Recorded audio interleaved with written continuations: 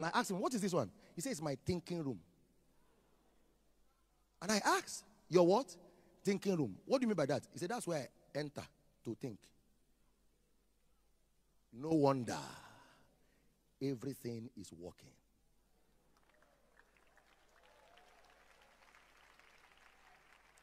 You have bathroom. You have dressing room.